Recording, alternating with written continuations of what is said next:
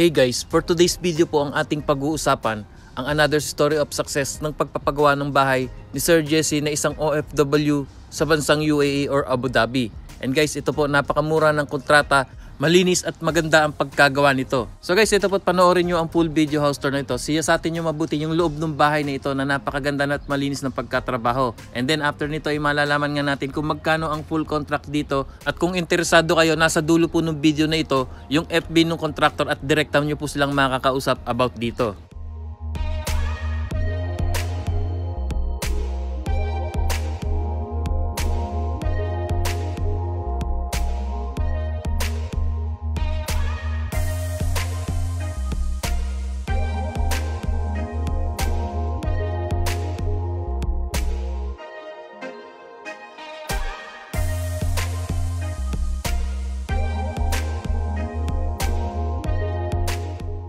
Guys, bali ito po yung kanilang living room or sala. At yan ay napakaganda with cove ceiling design. Meron na rin po siyang mga lights and decorations.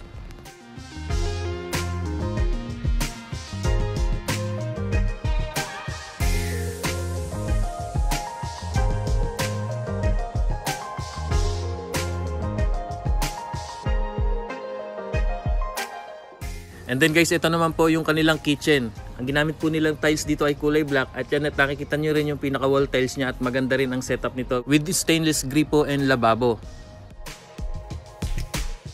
And then guys, ito naman po yung kanilang room 1. Yung flooring po ay ginamitan ng 60 by 60 na tiles, mala vinyl type or wood parquet ang style. And then ito naman po yung kanilang room 2 na kung saan ganun din po at yan nga guys ay parehas lamang ang style.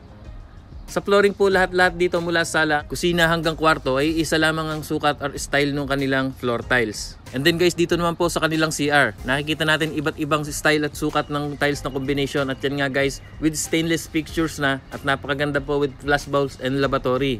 So guys, ayon po kay Sir Jesse, na ang sukat po ng bahay na ito ay 30 square meters. Ito po ay 6 by 5 meters. Ito po ay may dalawang kwarto, kitchen and dining area, living room, isang toilet and bath, porch or terrace. And then guys, kung interesado ka sa floor plan nito, ay maaaring pumunta ka sa aking Facebook page. Paki-follow mo ako at nandun po naka-upload din ito doon. I-save nyo na lamang para makita nyo ng mas malinaw yung floor plan nito. And then guys, ito na nga at nakita natin ang full video house tour. Ay talagang napakaganda at malinis ang pagkatrabaho at sulit na sulit at talaga ang kontrata dito. Mga bintana po ay gumamit sila dito ng sliding windows. And then meron din po silang corner fixed window glass. Sa pintuan naman ay funnel door and flash door. Ayun nga guys, nakita nyo naman mismo napakaganda at malinis ang pagkatrabaho. Kung interesado ka dito sa bahay na ito ay maaaring kontakin mo po yung contractor nandito sa dulo ng video yung kanyang FB at i-message nyo na lamang. So ayon po sa binigay na details ni Sir Jesse, ito nga pong buong bahay niya ay pinakontrata niya sa isang kakilala niyang architect. And then yan guys, nakita nyo napakaganda at malinis talaga ang pagkatrabaho. At yan nga, ang location po nito ay sa Anda, Pangasinan.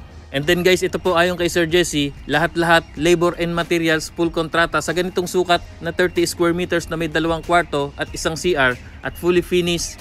Ito ay nagkakahalaga ng 750,000 pesos.